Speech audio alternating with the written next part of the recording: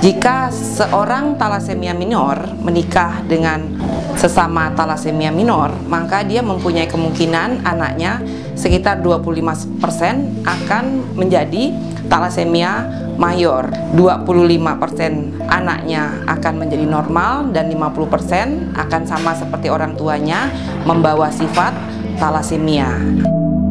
Kalau memang anak tersebut sudah terdiagnosis dengan talasemia, pastikan kita bisa menemukannya dari usia yang sangat awal sekali.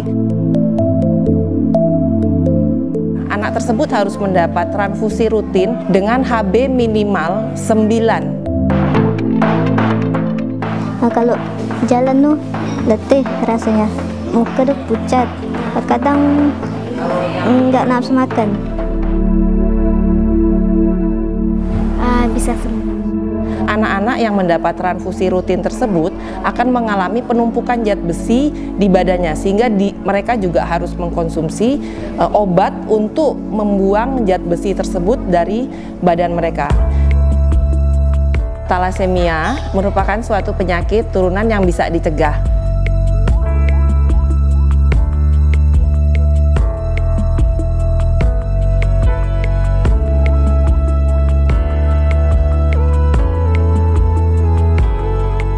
Banyak sekali anak-anak talasemia uh, mayor yang bisa menjadi apa pun yang mereka inginkan.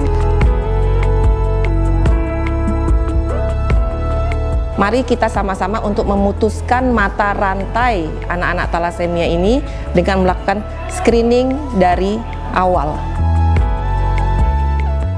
Screening bisa dilakukan salah satunya di rumah sakit, di puskesmas atau tenaga medis yang mengerti mengenai penyakit talasemia.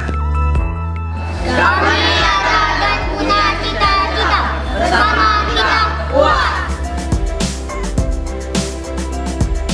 Untuk masyarakat yang berbadan sehat bisa menjadi donor tetap buat anak-anak talasemia.